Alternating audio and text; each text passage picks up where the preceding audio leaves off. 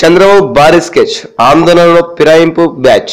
ఏపీలో అనైతికంగా పదవుల కోసం చంద్రబాబు విసిరిన కాసుల కోసం కక్కుర్తిపడి టీడీపీలో చేరిన ఫిరాయింపు వైసీపీ ఎమ్మెల్యేలకు చంద్రబాబు వాడుకొని వదిలేసే తత్వం మెల్లగా అర్థమవుతుంది.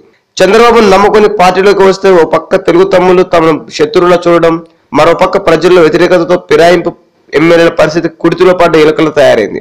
వైసీపీని దెబ్బతీయని నైపుణ్యంతో చంద్రబాబు ఒక్కొక్కరికి ఇరవై కోట్లు వెదజల్లి పదవులు ఎరవేసి సంతలో పశువులను కొన్నట్లు కొని టీడీపీలో కలిపేసుకున్నాడు అంతేకాదు నైతిక విలువల తుంగలో తొక్కి నలుగురు ఫిరాయింపు ఎమ్మెల్యేలకు మంత్రి పదవులు కూడా ఇచ్చాడు అయితే వచ్చే ఎన్నికల పార్టీ ఫిరాయించిన ఇరవై మంది వైసీపీ ఎమ్మెల్యేలు నలుగురు మంత్రులు ఇంకో నలుగురు ఎమ్మెల్యేలకు తప్ప మిగిలిన పదమూడు మందికి మళ్ళీ టీడీపీ తరపున టికెట్ దక్కే అవకాశం లేదని సమాచారం.